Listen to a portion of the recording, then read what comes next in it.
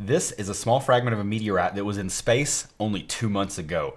I'm really excited to have finally gotten my hands on a piece of the Amo, Indiana meteorite fall. This was the only observed meteorite fall in the US in 2024, and only a few stones were found from it.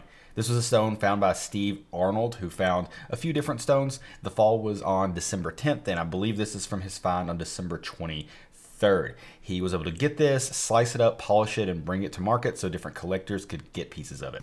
It's not a super scientifically interesting meteorite. It's an ordinary chondrite, which is the most common type of meteorite that is found. Uh, it's at a lab now being classified, or it'll be published in the Meteoritical Bulletin eventually, so we'll know the exact subtype of what it is.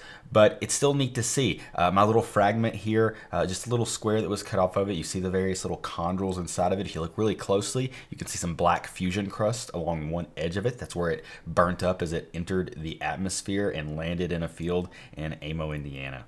This is by far and away the freshest fall I've ever gotten my hands on. Again, this thing was in space less than two months ago, and then it was in a field in Indiana, and now it's in my house and it's on camera for you to see.